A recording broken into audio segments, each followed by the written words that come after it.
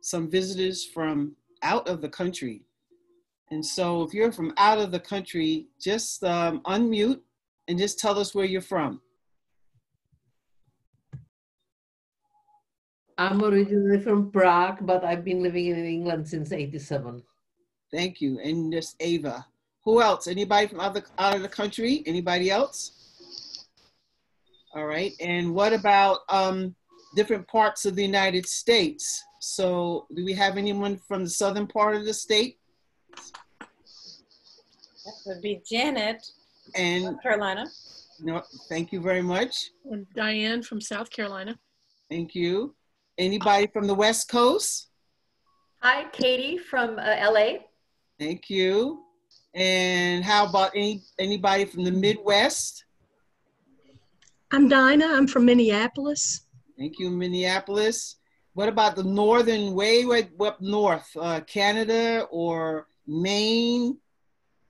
Anybody from those areas? And the rest of you are on the northeastern coast, I'm assuming? Yes? Emma, where are you from? I saw you raise your hand earlier. I'm also from North Carolina. North Carolina, okay. Welcome, everyone. So just a few um, housekeeping.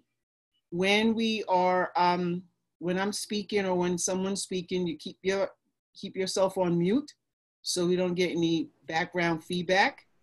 Um, so we can keep that.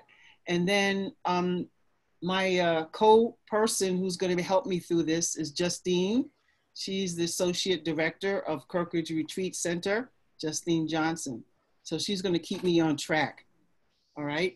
So let's begin. I'm going to start to share my screen, Justine. So let me pull up my information here. And everyone let me know, can you see this clearly? Yes, we can Yes. Crossing boundaries. Excellent. So just a little bit of background if you don't know. Um, my name is Juanita Kirton. I have a MFA from Goddard College. I'm a poet and writer. I've published quite a few pieces of individual poems in journals and magazines. Um, I have a book out that was published by print, um, Finishing Line Press is available online um, right now. The book will be shipped in August and will be available on Amazon, I think, in coming in August. Um, so it's called Letters to My Father. And um, I live in Northeast Pennsylvania. I'm a board member of Kirkridge Retreat Center. I also work for the PA Department of Education, and I'm living here with my spouse, Carol. And um, I love the work. I love uh, workshops and connecting with people and writers from across the world.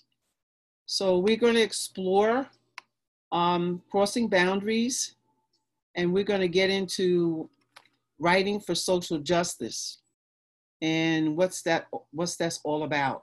And I think we need to know as artists and um, who are writers, it doesn't matter if you are a dancer or you're a musician, it's important for our art to speak out um, against any kind of injustice, be it social, racial, um, economic injustices across the world. Um, um, and also, I just wanted to double check with my counterpart. Um, Justine, are we taping this? Yes, we are. Oh, okay, great. Thank you. All right, so let's get into introduction. So what is social consciousness? And so it simply means that you're aware of the problems that exist in society. And we're gonna have a bunch of creative prompts that will inspire you to think about those problems more critically, deeper. And looking at white people who become likely to live and work in the world, um, an expectation that their needs are readily met. But people of color move through the world knowing their needs are on the margins. Recognizing this means recognizing there are gaps that exist. Um, and not to take it personal. Um, any discomfort that you feel to use as an excuse to disengage. All of you are here because you want to be engaged. We want to have discussion and we want to write about some of the issues that have come up. And it's interesting because these issues existed for a long, long, long, long, long, long time. It's not something new. Uh, I just think that there are more and more people who are conscious and aware and want to make critical change at this time. So I think that's really, really important. Um, so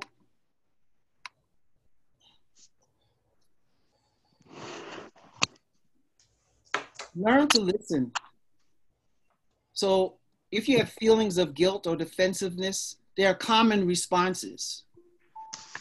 And it really ultimately counterproductive. Rather than centering on your own feelings of discomfort, center your feelings on people of color and evaluate what to do in, with this information. You have learn to listen, when to amplify, and when to speak up. And it's interesting because my son um, and my granddaughter is biracial. Not my son is not biracial, my granddaughter is biracial.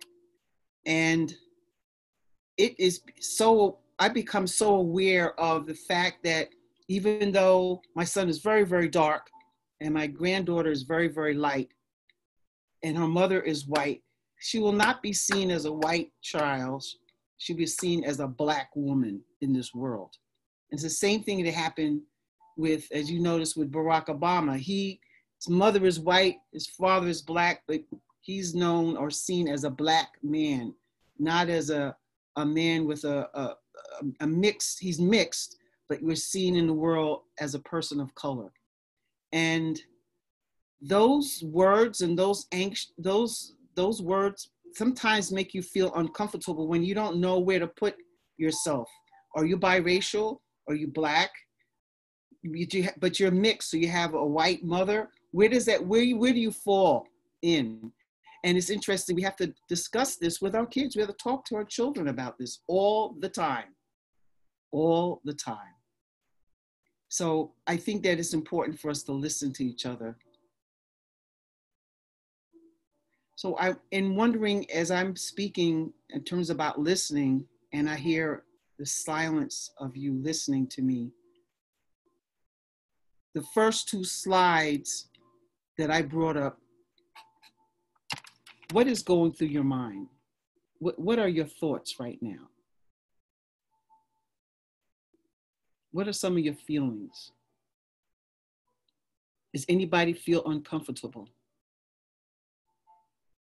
Or everyone is just. I feel like I feel like let's get to it.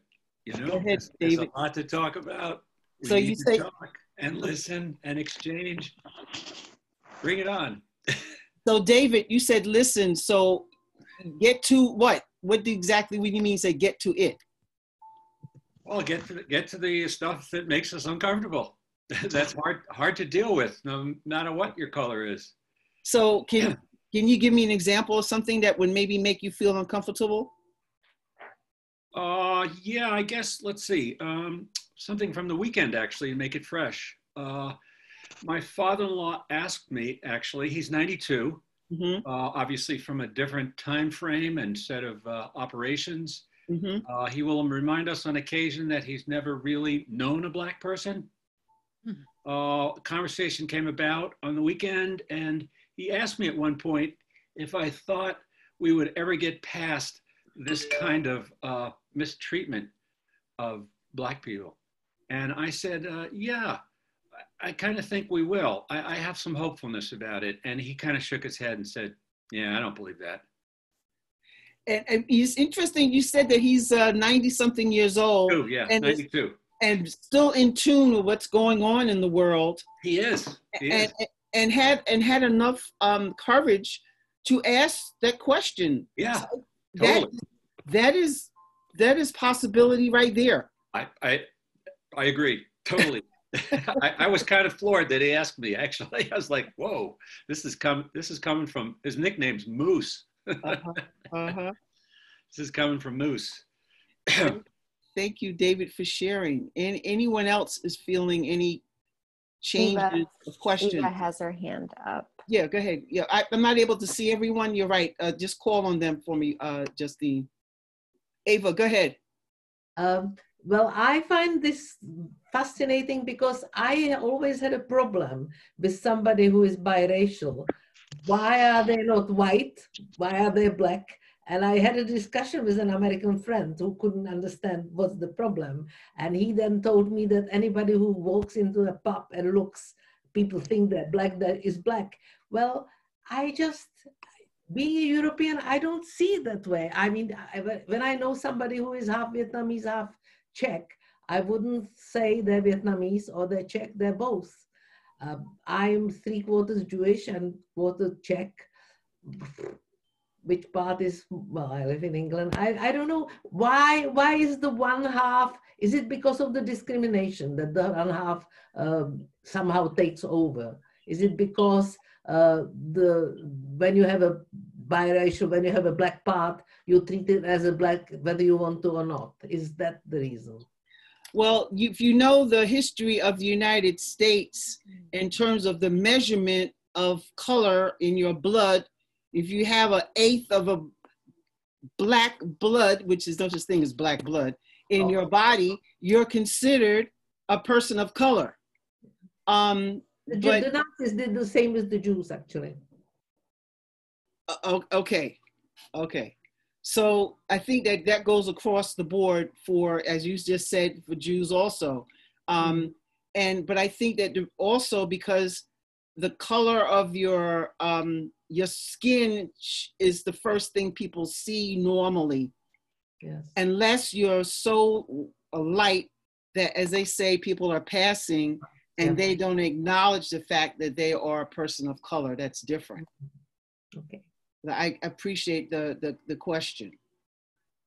I, I want to say that I, I tend to agree with David's father that we will never get past all of this.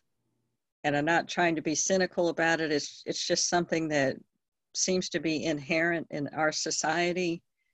And there's so many that work really hard to perpetuate it on both sides that it seems a almost insurmountable task to overcome to reach a point of harmony. Now, idealistically, it would be very nice if we could get there, but I don't know that we ever will. Now, um, so I think that one of the things that we have to be aware of is um, looking at ourselves and how we then approach this whole issue, and then also looking at the fact that the systematic uh, racial injustices are built into our systems and are legalized. And I think right. that what's happening now, people are looking at that and saying, okay, we need to change some of the laws, some of the restrictions um, that are that are in our system to make it uh, to, to, to make the ultimate uh, the ultimate how would I want to say this the, the the comfort level a little easier for people to to deal with and I think that that's something that we that we're working towards that mm-hmm. putting systems in place for for equality mm-hmm. and equity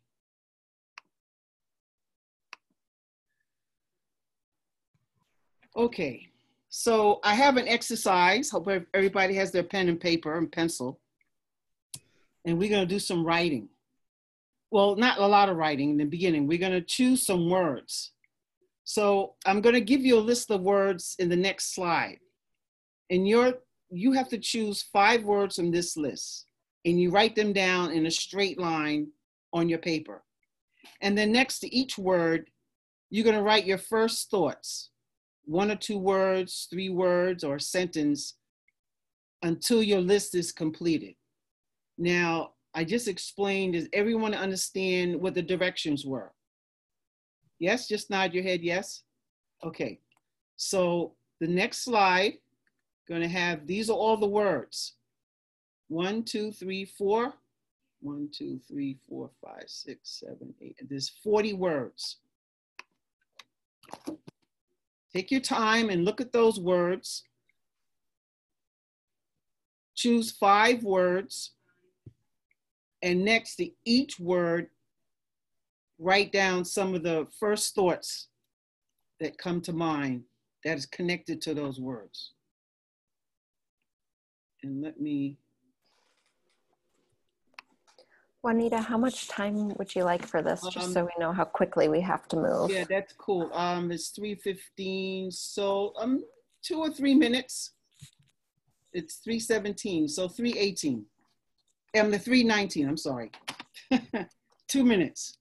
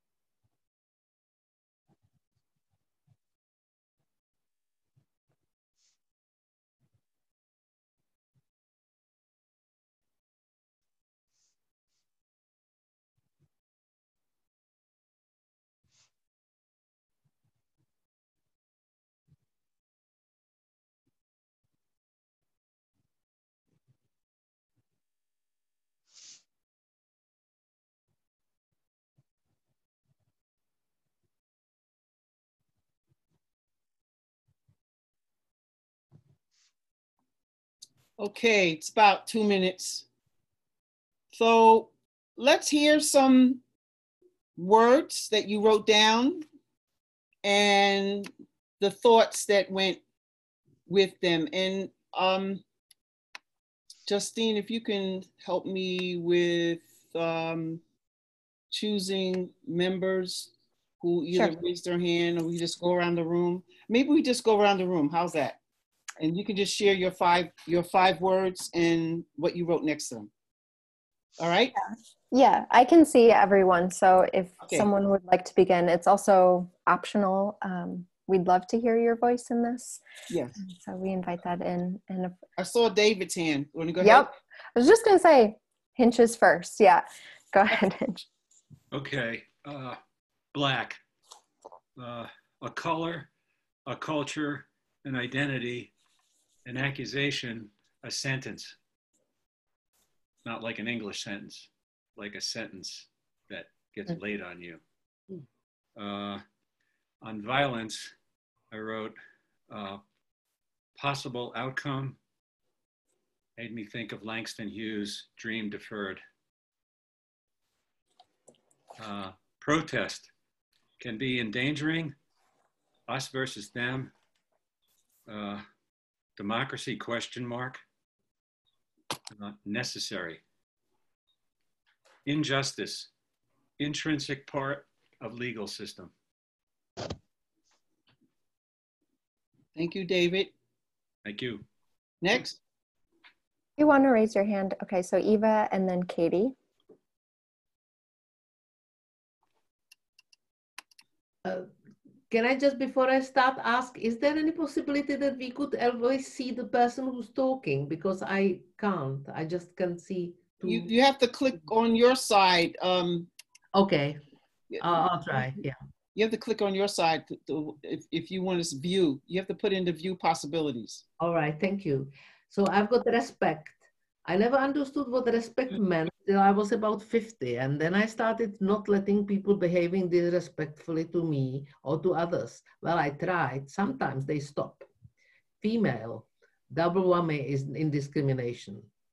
Silence can be as harmful. I try not to be silent when I see somebody, something I don't like, but then I find it difficult to be silent anyway. Um, opportunity, everybody should have the same opportunity. Let's just try. Entitlement, yes. Feeling that a person has a right to privilege without having to earn the right. It is stupid, but there are many stupid people around. Thank you, Ava. Who else? It was Katie, then Janet. Okay, go ahead. Uh, entitlement, me, white folk, unknowing ease and comfort. Grief, ongoing, generational, traumatizing, so much loss. Reconciliation, hope, the yearning of the heart. Opportunity, is this all we can ask? A fair, truly equitable chance to pursue, to dream, to become? Reparations, yes.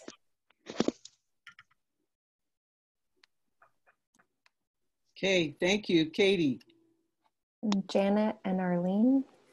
All right. Okay. Um, COVID 19, opportunity for inwardness, reach out to the world through Zoom. Silence, that's another take on that, can be a prayer, equalizing, accepting, peaceful. When we're in silence together, I was thinking. Um, racism, everyone is racist, but everyone doesn't have to be unconscious of this. A challenge to overcome, to take action, to change. Zoom, window to the world, opportunity to reach out, uh, uh, chance for presence with others. Great. Thank you very much. And then we have any, any, anyone else there? Arlene, did you want to go? And then if you want, you can raise your hand and I'll start naming. Well, I chose uh, gender inequality. Hunger should not be. Injustice on many levels for many people. Opportunity, now is the time. White, how do I contribute to injustice as a white person? Thank you, Arlene. Sandy, you're next. Um, it had life, but I put live. And I'm aware of the energy of the both sides of this. It reminds me of COVID in a way. I was thinking about um, how to how to produce antibodies to reduce the side of the illness and um, something proactive to strengthen the side of what has separated us for so long. Um, in reparations, make amends, to say sorry in a meaningful way, to have a heart change without it just being um, frivolous words of reparations. So to have meaningful reconciliation. And today, as I was looking at the news,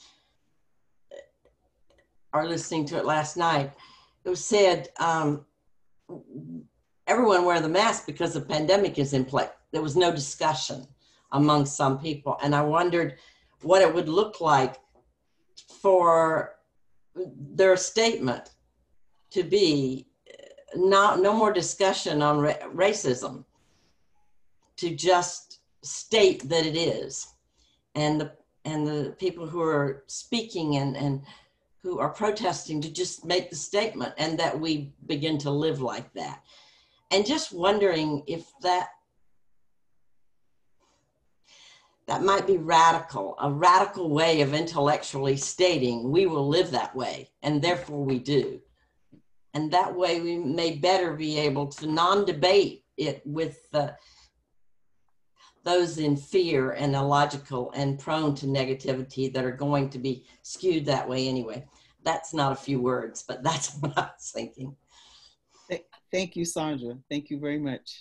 All right, any, is anyone else? Sally. Okay. Exhausting. The greatest danger to hope and change. Female, a huge part of the solution. White, a great marketing. Equality, not enough. We need equity. Education, our best hope. Thank you. So um, I'll just read mine real quick. I don't know, Justine or Jean, if you wrote anything down. I wrote forgiveness. I wrote maybe. I wrote always. Respect. I want it now. Opportunity. I want it now. Reparation. You owe me. Protest. Stand up. Sit down. So we're going to continue on. I thank you for those responses. And uh, oh, we need to next slide. So I'm not sure how much discussion you've had, but when people of color speak to their experience of oppression, it's important for white people not to dominate the conversation or question those experiences. You can use your privilege to amplify those voices, share the work and perspectives of people of color on social media, credit colleagues of color for ideas. This not only helps marginalized people reach that audience, but also helps spread the message from sources rather than through the lens of a white person. That being said, there are always also times when white people should speak up. It's not fair to burden people of color by making them always take the lead on anti-bias work or intervening when they something often offensive is said or done. If you hear racist remarks, speak up.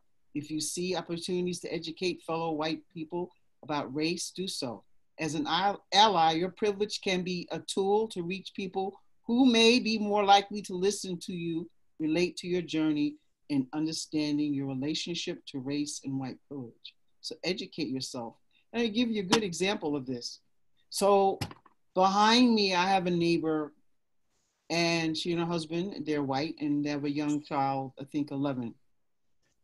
Across the street from me is lots and like acres and it belongs to another white person. To left of me is a black man and to the right of me is another white person. We have a lot of acres around our land. So, so it's about, I have two acres. Some probably have five acres. Somebody else has three acres. Across the street is six acres. So we have a lot of space between us. And um, last two weeks ago, my neighbor in the back, white person, came over and she was asking about what was happening in this world and wanted uh, Carol, because she has a lot of re- relationship with my spouse, Carol, because they do a lot of gardening together. And we started talking about some of the things. And I said to her, I said, Well, have you discussed this with your daughter? She's 11. She never spoke to her daughter. She never asked her question. And I'm sure her daughter must have some kind of feelings. She's a young child, a young girl who's in school, has classmates. So my my my reason for bringing this up is to look at yourself in your environment where you live, in your home, in your family, in your with your neighbors. Begin to take that courage walk across the street or next door and talk to them. Um, this is so, so important. Um, I have another person who's a teacher and mentor of mine, and there are four women in, in the, uh, who are siblings. Two are working towards social justice and believe in what's happening now. And two, want to join number 45 and don't believe what's happening now. And so there's strife within the family. David brought up how his a 92 year old father asked the question and took that courage step to even ask a question. So, one of my thoughts that I want to throw out to you how many of you have been able to ask a question and to educate yourself or your spouse or your family members, your neighbor about what's happening in the world today? How many of you have been able to take that journey? I see David, Janet, Katie. Okay, Katie, why don't you give us uh, an example of that journey? Um, I was talking to my mom. Uh, the favorite thing she loves to do is play cards, and it's been very challenging to do that socially distanced. But that's when we have our best conversation over Rummy 500. and it was shortly after George Floyd's murder. And um, I just asked her what, what she thought and she is someone who would never typically say something racist um, who i think tries to have a good heart but she's an 88 year old and she used to say well when we grew up in montebello i never knew any black folk um, i said well mom you know is it because black folk had to leave by sunset so mm. that that might be part of it um, and we just had this conversation, and she, for the first time, said, You know, maybe there's something deeper going on that I need to pay attention to. Um, maybe maybe it's so ingrained in our police system that we need to remake how everything is done. Um, so I don't, I'm not going to take on the mantle of courage. I opened the conversation, but it was the first time her taking on a perspective that I had never heard her take on before. Thank you sharing that, Katie. That's so important, um, what you just said. So now we're hearing perspective from David and Katie as to the generation that came before them that might have been blind or less conscious. And now they're having that conversation so the gap is closing. Thank you. Who else wants to share? Someone we haven't heard from. Okay emma yeah i recently reconnected with uh, someone i went to high school with who is a police officer in raleigh north carolina and it's actually been um, a really like, challenging journey. Um, we were friends in high school, but haven't really stayed in touch. And we got reconnected through some friends. And he has asked to to have some conversation, and we are in really different places about like what we believe about things. And it's not. It has not been particularly comfortable to try to talk with him. Um, and but it's i mean i think it's opening my eyes and there's moments where i actually have felt perplexed as like why he wants to have conversation at all because i pretty much disagree with almost everything he shares or we've had some like pretty intense dialogue um, or there's been some severe critique on my end i think of of his work um, but i think i felt encouraged that like he's open to having dialogue and that i'm also growing as a result of that dialogue um, because i think in my work, I, I have, I tend to want to make it, sorry, my phone is ringing, like very cut and dry um, of like writing off particular people who are involved in oppressive systems. And I think conversing with him has, is forcing me to open my eyes to the, to like the humanity of all of us, like calling him into a different path, but also seeing him as a fellow beloved person. Um, I don't know if that makes sense, but it's been a really challenging conversation for me as someone who's normally quite, I think, has been quite compliant and always very obedient to realize, oh, actually, this is a space where I need to use my voice. So, Emma, thank you for sharing that. And so, you are using the power of listening on this very challenging journey with this young man. And he's able to open up. So he is also on a journey.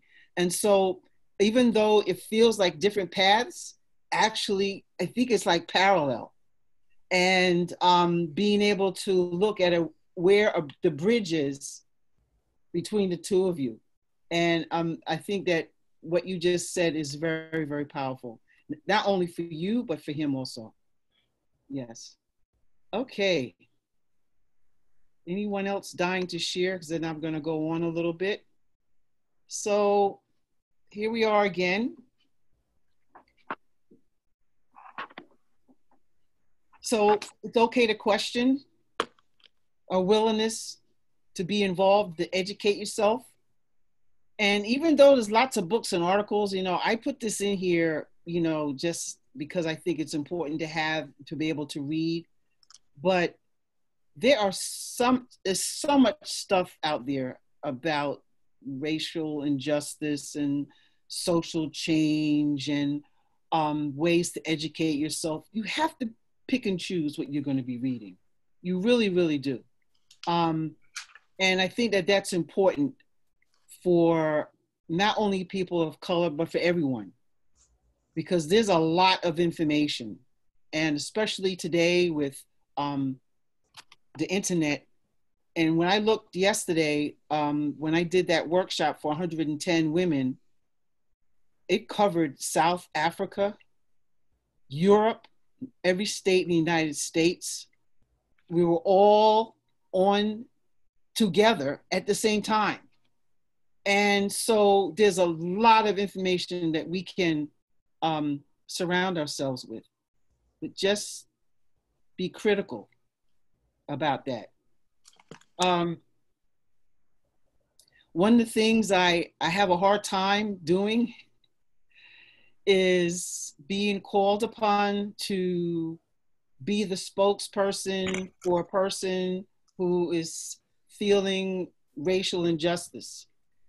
But then again, I also need to use my voice and my art to speak out and to support um, my fellow humankind, not just people of color, but, but everybody. I have close friends who who are white, but I don't see them as white. They're they're wonderful, beautiful people, and their color disappears for me because they able to get it. They get it. And once you get it and you're connected, that lens that you look through in terms of color, it doesn't exist anymore. Um, and not saying that you should go out into the world and you say, oh, I don't see color. It's not about that. It's different when you're able to connect. It's different. So I just wanted to, to kind of put that out there. Um, so again, share what you learn, be courageous, have conversations, circle of conversations, and it's risky. It's hard. It's difficult. But this time demands you to stand up, or as John Lewis said, sit down if you need to sit down. So I'm not going to go over this right here because we're above that. So this is what we're going to do. So those are some of my words. I had chosen different words before I even started this. So when I first wrote my uh, PowerPoint out, I chose these words, history, reconciliation, opportunity, respect, and rage. And then doing a workshop with you, other words came to mind, which is the ones I read with you a little while ago. So we're gonna have a writing exercise and we're gonna do that right now. So look at the words below. And if you're a white female, you can't choose female and white. You have to choose two or more words from below from a perspective other than yourself. So if you're a white male and you live in an urban area, maybe you're a Native American and you're a conservative, or you're a child, or you're a Democrat. You're different. Maybe if you're able, you're differently abled. If you're black, maybe you're brown. Maybe you're young. If you're old, you're going to be young. So ch- choose two two words from this list and we're gonna I want to hear them out loud right now. Write them down next to or underneath your five words that you chose.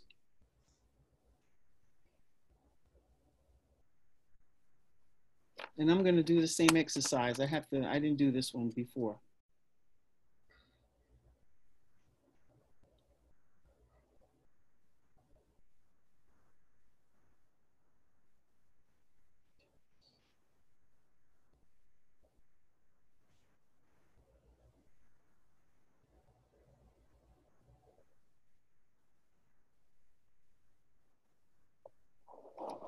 Okay, how we doing? Everyone get down at least two words? I'm gonna start and then we're gonna go around the room. So everybody's gonna chime in. So my words are, I'm white and I'm rich. All right. okay, let's go around the room. Justine, are you doing this exercise? Yep, I did uh, homeless and Asian. Homeless and Asian. Okay, Ava, what did you choose? Unmute. Black, there you go. Black and gay, and I'm a man. So Black I- and gay, and you're a man. Okay, Evelyn, what did you choose?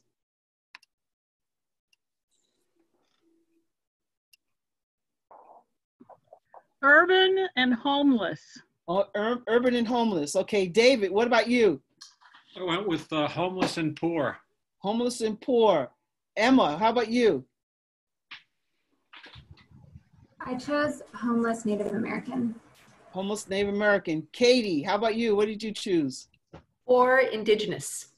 I'm sorry, what was the first one? Uh, poor and indigenous. Poor and indigenous.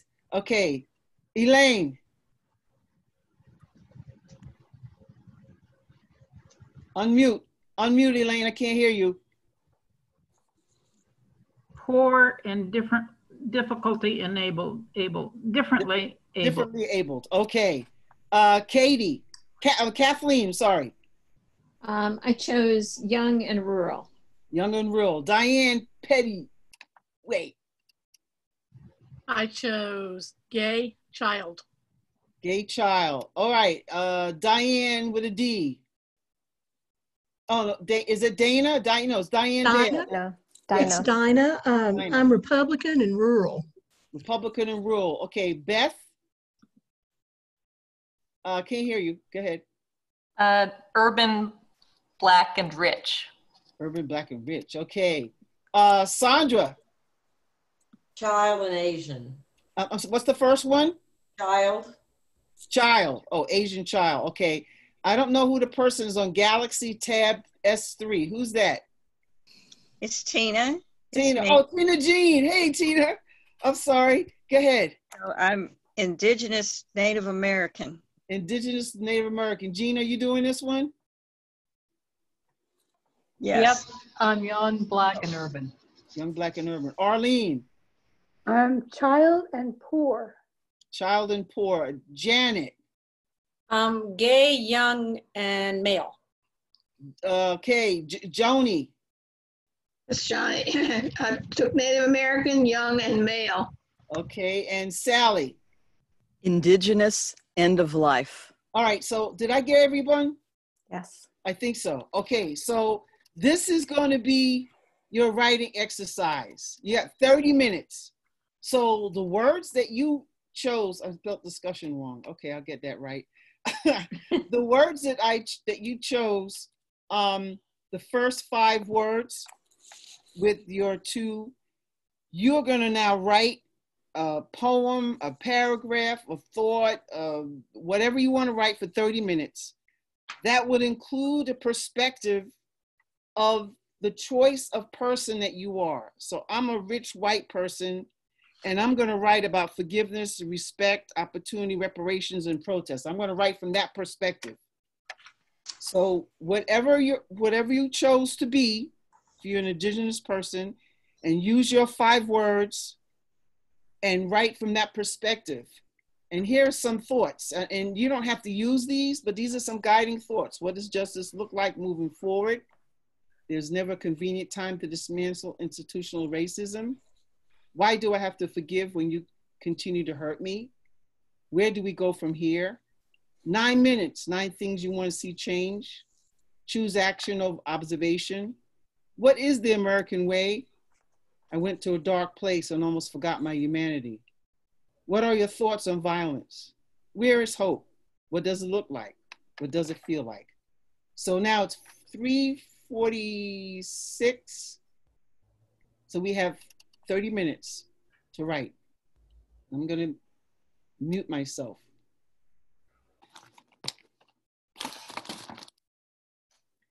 So that was um, crossing the boundary of where we stood in our own space and time and imagining what it would be like to step across that boundary into another place, another space, another shoe, another thought, expanding where that boundary is, expanding our boundaries.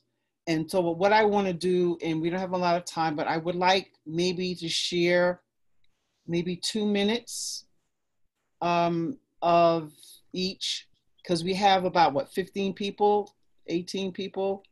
Yeah, so that's not a lot of time. It takes us right to 4:30. Wow.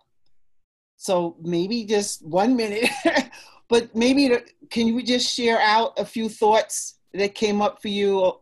Um, and don't take a lot of time. Let's do, you know, one or two minutes each, okay? All right, so let's go around the room real quick. And um, do you see some hands up? Let's start to share. Yeah, again, so this is optional invitational. We'd love to hear your voices. Um, hand is up first. Yep, Johnny. Johnny. go first? Yeah, just a short snippet because we don't want to take time away from everybody else. Go ahead. Tina Jean. Okay. I'm a 20 year old Native American man. My native name is Running Bear in our language. My teachers and school friends, both Indian and white, call me Sam. Unlike my white school friends, I have no entitlement, which I learned means that when hardship incidents happen in my life as opposed to a white person's life, I cannot be sure that the color of my skin or my heritage has not created or complicated that hardship. Life for me is hard. We live in Pueblo. Our homes are at best modest and at worst little more than shacks um, et cetera, et cetera. So it goes, I go on and talk about what it would be like to be a black, I'm sorry, Native American young person. Thank you. Thank you. So, um, Joni, um, how hard was it to you to jump over into that boundary? Not so hard because my my deceased partner was very interested in Native American life and stuff. So we had visited pueblos and seen how the people live, and uh, so I, I, was more conversant with that than I would be if I picked a, a you know an Asian person or a person of another ilk. Thank you very much. Um, the next person was listed. Was it Tina Jean? Is next? Yep. You have one minute. Go ahead, Tina Jean. Unmute. People in America choose to believe all have freedom. Wait, wait, wait, wait. wait. What, what, what did you choose? What were your two? What bound? Indigenous Native American. Oh, okay, great. He was getting ready to come up. I was getting ready. I was trying to go as fast as I could. Sorry. So people in America choose to believe all have freedom in this country. I'm outraged to consider their idea of equality. Have they ever considered the mindset of Native Americans?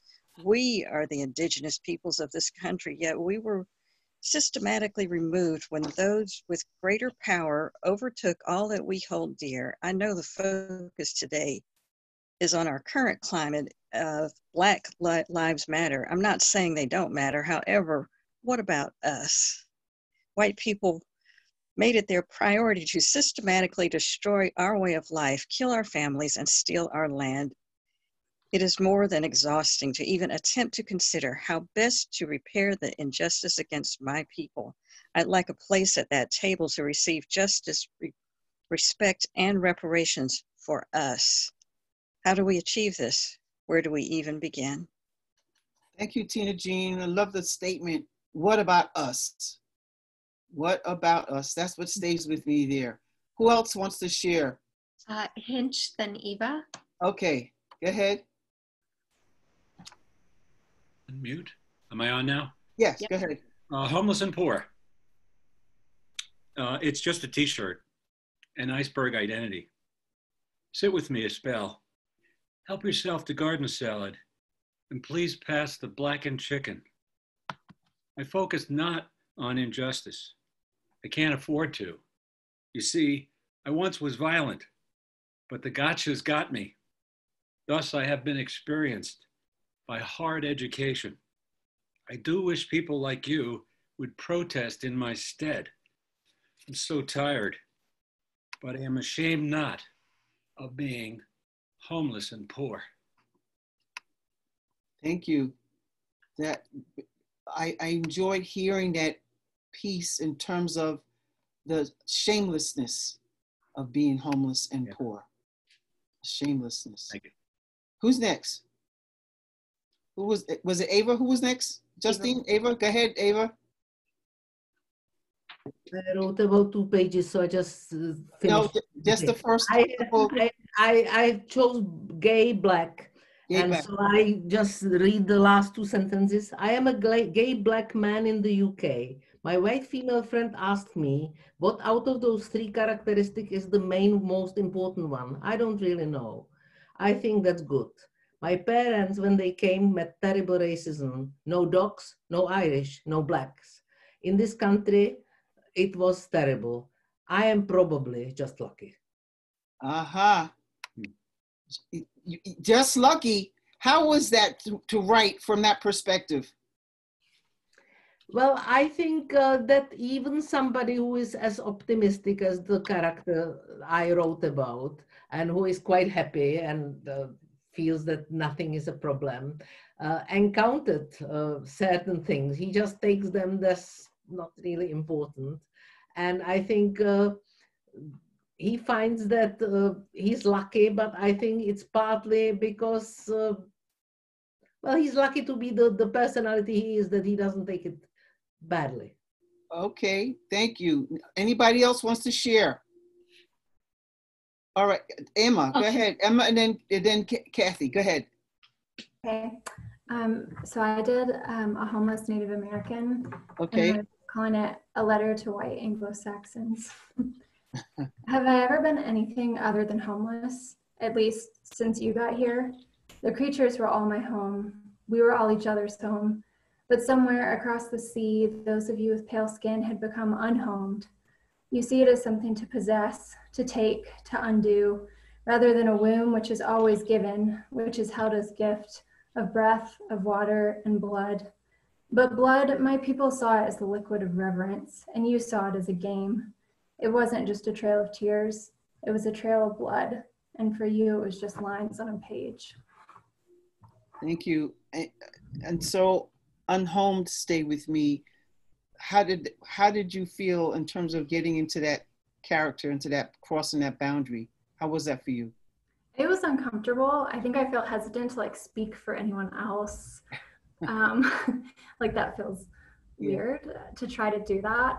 But there's a sense of I'll never understand fully. Um, but like trying to imagine is this exercise in discomfort that feels important. Thank you, Emma. Thank you for that courage. Okay, Kathy, you're next. Did I say hunger brought me back to the land? Running from the everyday violence, the numbness that ripped my self respect and sours my senses. Safe here, unburdened, a promise of green. Did I say hope for freedom at last? Freedom now? Did I dare to feel real hunger for rich, dark earth to plant something as powerful as a seed? Come, my friends, let us not pretend that we can leave the bonds behind, a common ground and storms that rouse the thirst for justice. Thank you. And the words that you chose, the character. Hunger, hunger, violence, respect, power, freedom. Whoa, it took a lot of them there. okay. I used them all. yes, I about to say, hope for freedom and safe, safe here. Those, those stay with me. And um, how was it for you to get into that in terms of writing? You know, I don't know that I really crossed that much of a boundary. I think I worked with a, you know, a shadow of myself, actually. I like that, the shadow of mm-hmm. myself. Who else wants to share? Anybody? Elaine. Elaine, go ahead. I started with a line of how poor is poor, and after trying a paragraph, I said, this narrator, it is finding it impossible to write this from the narrative voice of being a poor person, at least in the sense of being a poor person that is homeless, that is unable to get a job. But there are so many levels of poor in this world, a world in which such a tremendous percentage of its material assets are in the hands of such a small proportion of the population. And then to skip to differently enabled. As I increasingly use a cane myself, as I underwent PT for the first time in my life and stood before the steps of the Art Museum on the uh, mall in Washington, D.C., and realized these buildings were built before legislation existed to enable entry by the handicapped, I realized I was grateful for legislation that made it possible to at least open something, but there is so much that still needs to be done. Thank you. And and I I heard in your response that that was a difficult task, and to and to write it down that it was difficult and to acknowledge that is also a step. And so I just wanted to to acknowledge that that is a step to be conscious and to be aware that hey, this particular task was a little bit difficult for me. More than a little. Okay. So in our discussion, I am just want to wrap up. We have like 15 minutes. Um, so here's some thoughts. Was there a time when you felt uncomfortable talking about race? And I think I heard some of that already. How can you educate yourself about racism without burdening your Black friends and family? How to instill inclusive practices at home, work, and community. Who built this system and who keeps it? And if you could change one thing in the world, what would you change? So take a question, any question, and maybe we could have a little open discussion about this. So I know for myself, um, I have a hard time um, when it comes to educating myself because there's so much stuff out there.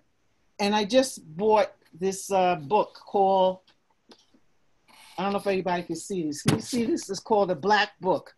Let me stop sharing for a second so you can see this. And you see this is called the Black Book. And the Black Book has so much information about the history of people of color from way back before um, the time of Columbus, before uh, in, in Africa and the Gold Coast, and about uh, trading and the Africans, how they traded with um, Spain and Europe.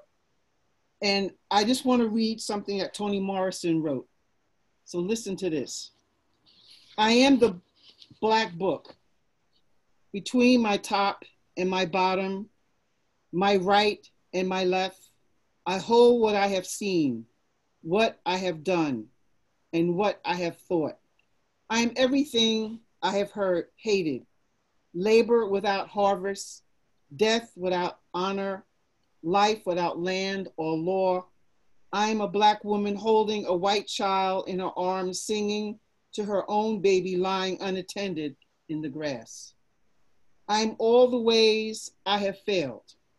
I'm the black slave owner, the buyer of golden peacock bleach cream and Dr. Palmer's skin whitening, the self-hating player of the dozens, I am my own nigger joke. I am all the ways I survive.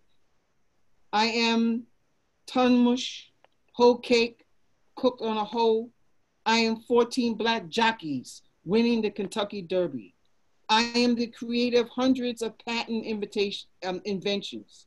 I'm the, I'm the pirate. I'm Maria Latrobe. I'm Betsy Smith, winning a roller skating contest. I'm quilts and iron work, fine carpentry and lace. I am the wars I fought, the gold I mined, the horses I broke, the trails that I blazed. I am all the things I have seen. The New York Caucasian newspapers, the scared back of Gordon the slave, the draft riots, the darky tunes, the merchants distorting my face to sell thread, soap, shoe polish, and coconut. I am all the things I have never ever loved. I'm supernog, I'm wine, I'm cool baptisms in silent water, dream books and number playing. I am the sound of my own voice singing, Sangragi. I am singing, I am ringing shouts, blues, ragtime gospels. I am mojo, voodoo, and gold earrings. I'm not complete here. There is much more. But there is no more time and no more space. And I have journeys to take, ships to name, and cruise. Toni Morrison. So tell me, what is it? Where are we? What do you feel?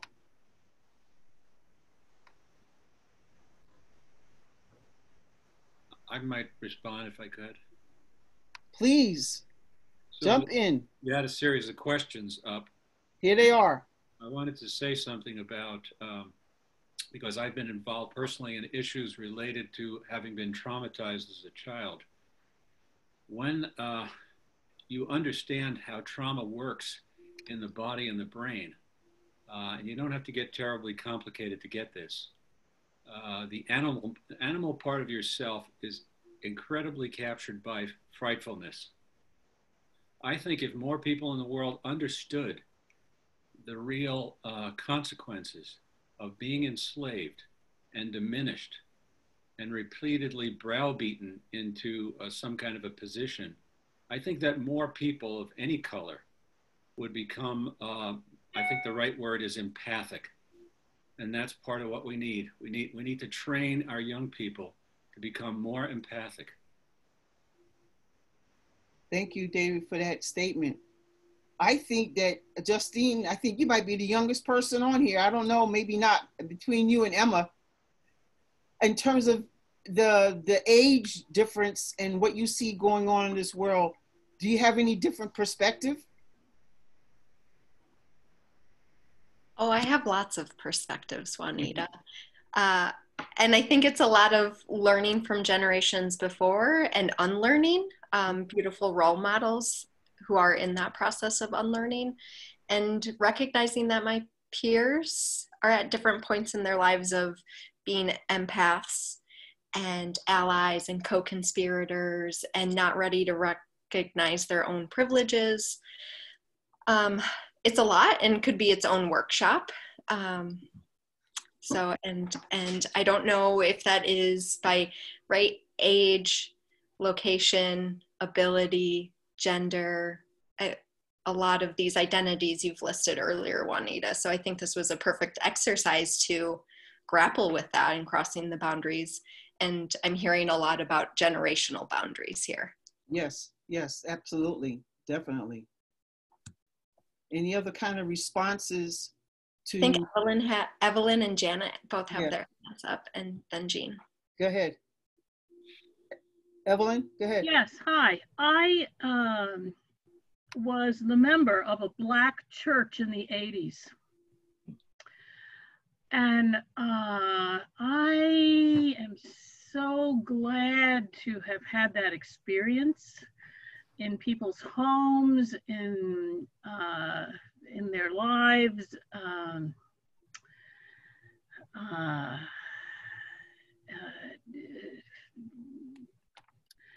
influenced by their ideas, uh, accepted, accepted.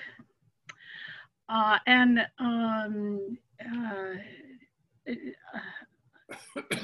my um, experience, uh, time spent with other is uh, is a is a very important means of uh, crossing of the bridge that you speak about.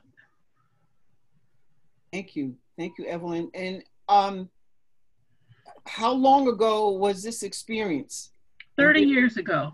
Did it change how, your perspective? Yes.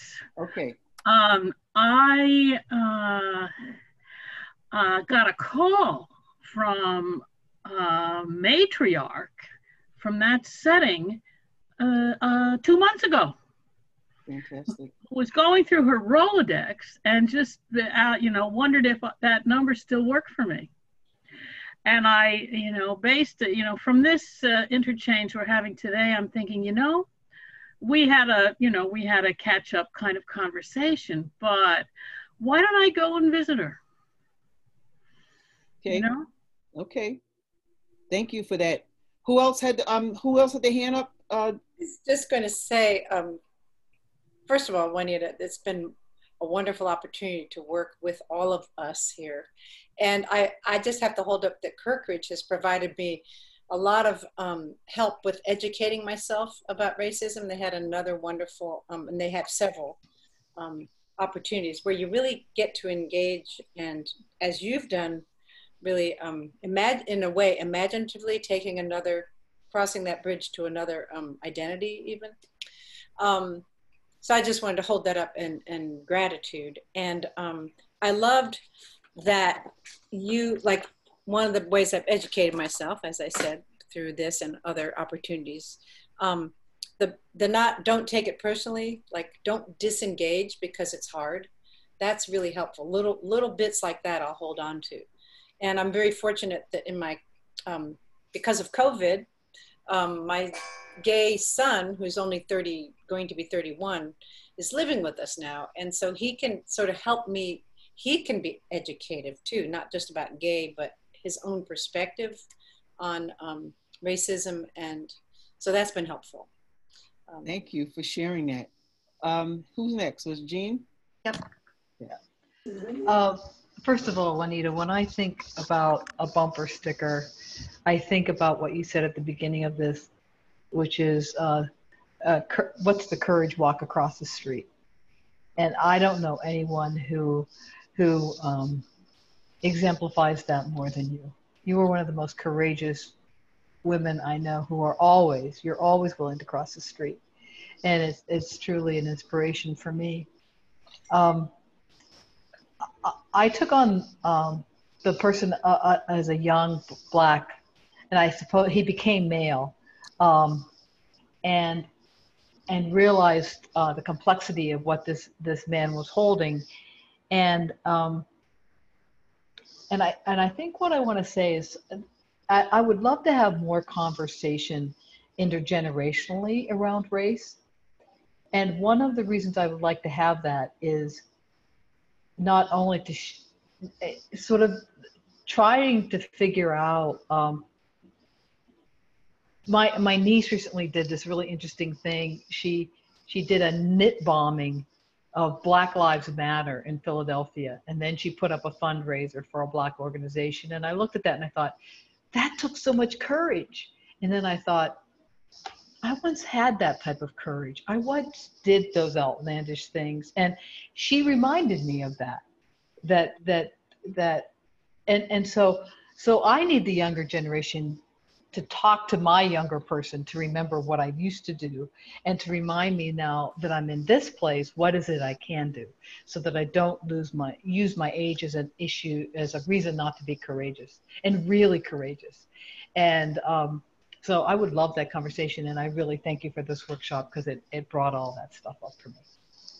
Thank you, Jean. Um, interesting when you said that because I took on a, a white rich man trying to understand that you know he he owns this company.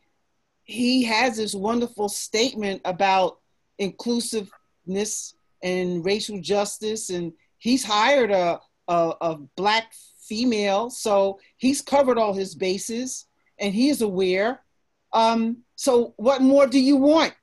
And and the laws have changed. You had your black president, so this is this is his mindset. And I try to put myself there, and then we have to have patience with each other. We have to listen and be patient with one another, because it takes time. And like you said, Jean, you're out there. Yes, I was out there too in the 60s marching with my big afro and protesting. So this is a, another time to join forces with the other generation, the younger generation who's out there marching, maybe because our legs are too tired. And, and, maybe we have our bad heart, but we can support our younger um, members in other ways because we might have a bigger pocketbook than they do. So we can provide some funds, so we can support them through our words and through some of our deeds. But they're going to be out there in the streets, and um, and maybe I can't march, but I'm going to sit down. I'm going to do something. Uh, actually, I'm riding my motorcycle to the to Washington D.C. for the march in um, in in Washington um, in in August. So I'm actually going to do that. So it's 429, and I'm really a person about timeliness. I to start on time, I'm going to end on time. I'm not going to waste your time. So we had a, some discussion, we had some writing. Take some of those seeds that I planted and maybe write some more, or maybe explore some more, and maybe take yourself across the street or next door or pick up the telephone um, like Evelyn said, and reconnect or connect with someone